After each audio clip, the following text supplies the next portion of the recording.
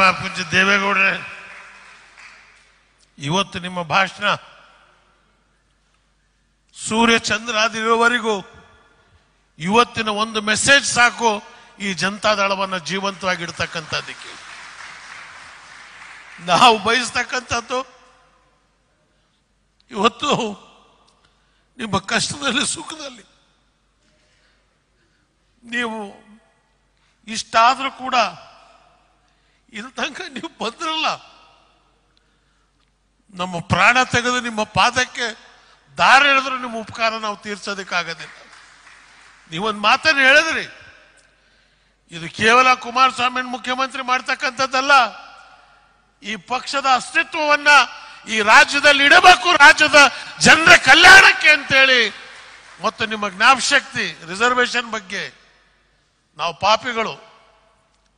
ನೀವು ಮಾಡಿದಂಥ ಕೆಲಸವನ್ನ ಜನರ ಹತ್ರ ಮುಟ್ಸ್ತಕ್ಕಂಥದಕ್ಕೆ ನಾವು ವಿಫಲರಾಗಿದ್ದೇವೆ. ನಿಮ್ಮಲ್ಲಿ ಕ್ಷಮೆ ಕೇಳ್ತಾ ಇವತ್ತು ಪ್ರತಿಜ್ಞೆ ಮಾಡ್ತೇವೆ ನಾವು. ಇಲ್ಲಿ ನೆರೆದಿರ್ತಕ್ಕಂಥ ನಾವೆಲ್ಲರೂ ಇಪ್ಪತ್ಮೂರವರೆಗೆ ಕುಮಾರಸ್ವಾಮಿ ಅವರ ನೇತೃತ್ವದಲ್ಲಿ ಹೋರಾಟ ಮಾಡ್ತೀವಿ ಅಂತೇಳಿ ದೇವರು ನಿಮಗೆ ಶಕ್ತಿ ಕೊಡ್ಲಿ ಅಂತ ನಿಮ್ಮ ಪಾದಕ್ಕೆ ನಮಸ್ಕಾರ ಮಾಡ್ತೇನೆ. ಜೈ ಹಿಂದ್, ಜೈ ಕರ್ನಾಟಕ.